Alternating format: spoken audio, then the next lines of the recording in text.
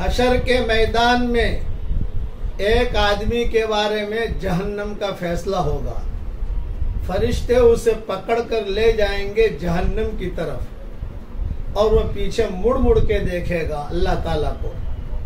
अल्लाह ताला पूछेंगे फरिश्तों से कि क्यों मुड़ मुड़ के देख रहा है? इसे मेरे पास वापस लाओ। चुनाचे फरिश्ते वापस लेकर आएँगे। तो अल्लाह ताला उससे पूछेगा, क्या कोई ऐसी नेकी है जो तूने की हो और फरिश्तों ने न लिखी हो।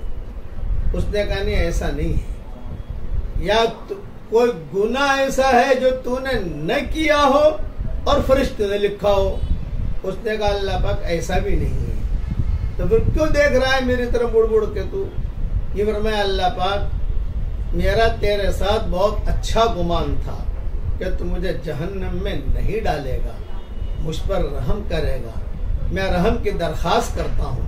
बस इस जुमले पर अल्लाह ताला उसको बख्श देंगे। और फरिश्तों से कहेंगे, जाओ, मेरे साथ इसने अच्छा गुमान किया है, इसे जन्नत में दाखिल कर दो।